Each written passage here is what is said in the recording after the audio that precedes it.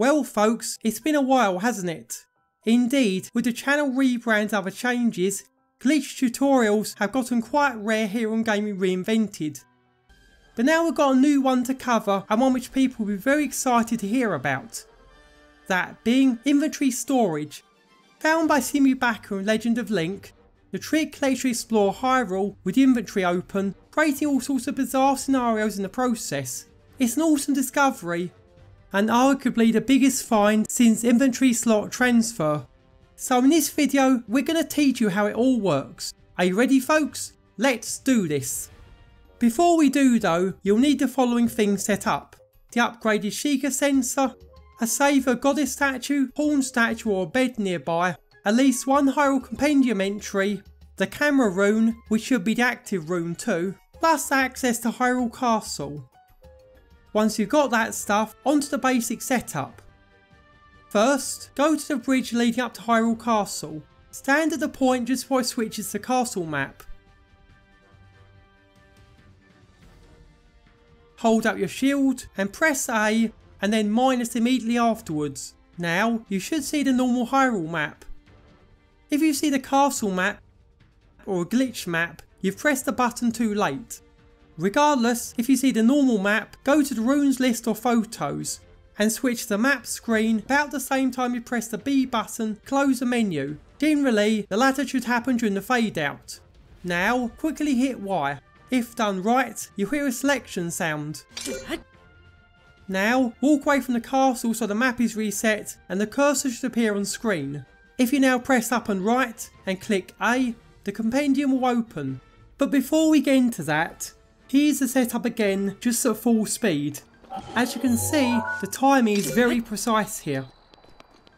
Either way, let's talk map storage now. In this state, the compendium is on screen all times and changes as you move about. It's an interesting setup, and given it takes up like 90% of the screen, it's one that makes navigating Hyrule quite the challenge. But that's not what you're interested in, is it?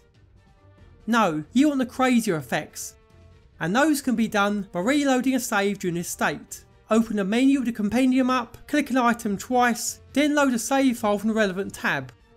You'll have the cursor on the loaded file too. Click Write an A right away. After a short delay, the map will open. Select the Sheikah sensor target to deactivate it, then go to event marker on the map. Click the marker and press L twice. You'll be able to move with the open adventure log button on screen go to either a goddess statue or the horn one in Hateno village and click the adventure log button and interact with the object at the same time. Now view a memory and choose to exit the dialogue. View a memory again and you should be able to walk around with the inventory on screen. You can go anywhere in Hyrule by looking at memories, opening the log, etc. Just one small snag, you can't see anything while doing this Link's movement is entirely hidden behind the menu screen, so you're literally running around blind.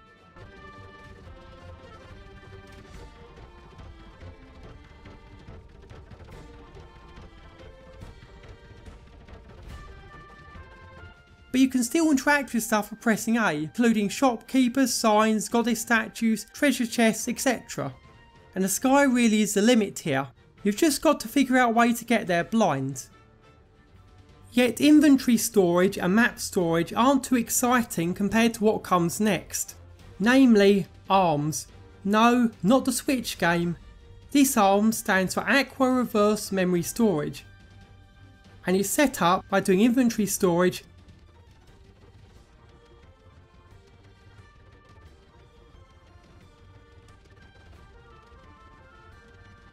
closing the menu and jumping into water when out of stamina.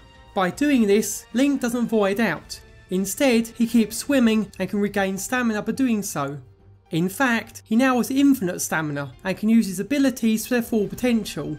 Running, climbing, gliding, all these can be done non-stop now, letting you go anywhere in Hyrule with ease. And insanity doesn't stop there. Oh no, the glitch also makes Link a non-invincible demigod too. Yep, when Arms is active, he can't take damage either enemies become a complete joke. Guardians, Lynels, bosses, they're all useless when Link can tank their attacks at will, walking towards them like some sort of Superman. It also disables most cutscene triggers too. Do you want to go to Gerudo Town in normal clothing? That's possible. Explore the Lost Woods without voiding out? Go right ahead. Hell, you can even do things like take on Eventide Island without losing your gear too, since a relevant event cannot trigger when the glitch is active. So, you can just stroll up the beach, nuke everything on the island with powerful weapons, and do the quest on Empty Island instead. Oh, and you can also climb on top of the Divine Beasts too. But there are a few things to keep in mind. First, if you speak to any NPCs, enter shrines, or open treasure chests, the game will soft lock. So don't do that while this glitch is active. Secondly, pausing and unpausing the game, using runes or switching items also end the glitch. So, if your weapon breaks, you have to pick up a new one to keep fighting.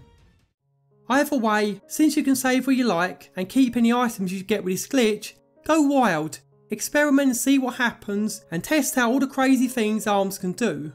Still, that's our guide to inventory storage, arms and all its other interesting side effects. If you found it useful, give it a like subscribe to our channel for more glitches and tutorials, then leave your thoughts the comments below or over on the Discord server today.